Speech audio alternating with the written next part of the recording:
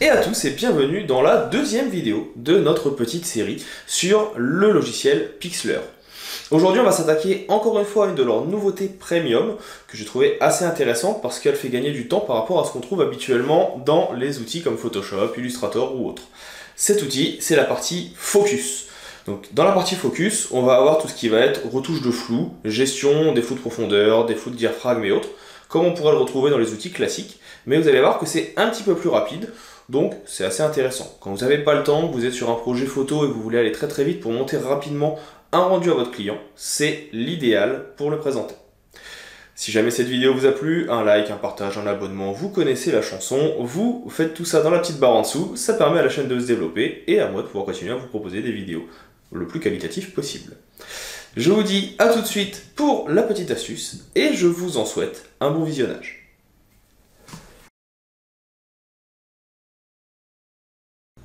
Nous voici maintenant dans le troisième épisode de notre découverte des nouveautés de Pixlr X.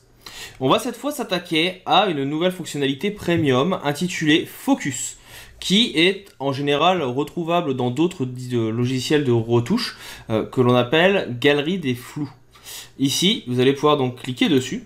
Vous voyez qu'automatiquement, vous allez avoir votre euh, fenêtre qui va s'afficher et avoir ici des lignes qui vont être horizontales.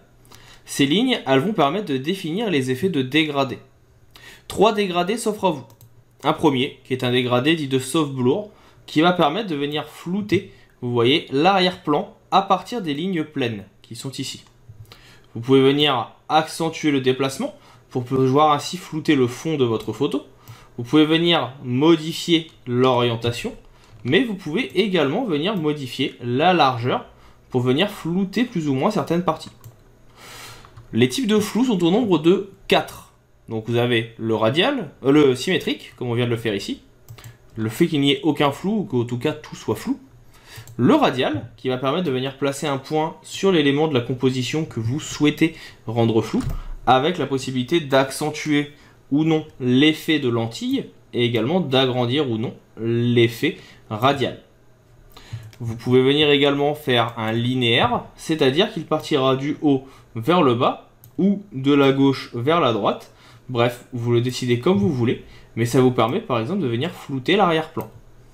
Donc ça, ça peut être assez intéressant, c'est assez rapide à mettre en place, et ça permet vraiment de donner des effets de profondeur qui peuvent être un petit peu différents et qui n'étaient pas prévus au début. Au besoin, vous pouvez même venir inverser le sens de votre dégradé à l'aide d'un simple bouton.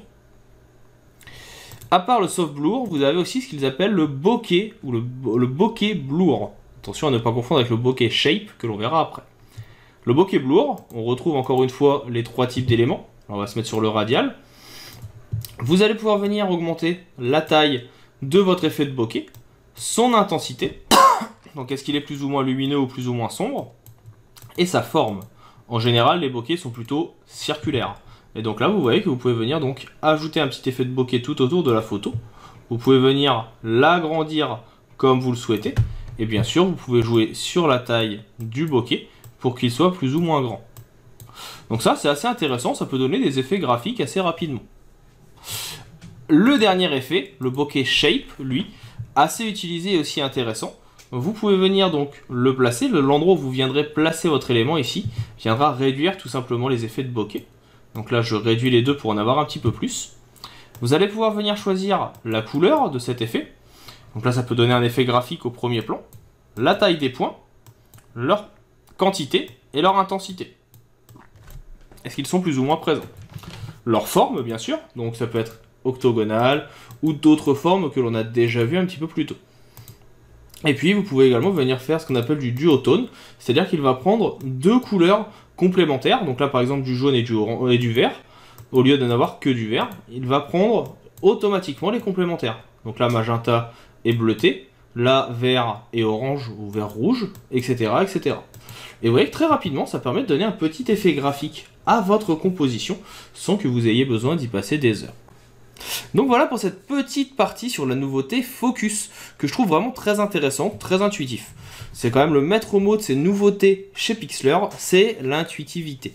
C'est quelque chose qui va très vite à prendre en main, pas besoin de passer 4 heures à essayer de comprendre comment ça fonctionne. En quelques clics, on arrive à obtenir les effets. Si jamais vous avez des questions sur ce que vous avez vu au cours de cette vidéo, n'hésitez pas à m'en faire part, ça sera avec plaisir que je viendrai y répondre.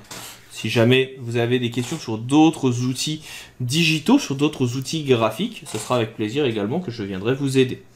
J'espère dans tous les cas que cette vidéo vous aura plu. Si c'est le cas, un abonnement, un partage, un like, vous connaissez la chanson, c'est ce qui permet à la chaîne de se développer. Et pour ma part, il ne me reste plus qu'à vous dire à bientôt pour d'autres astuces et d'autres techniques créatives sur les outils digitaux.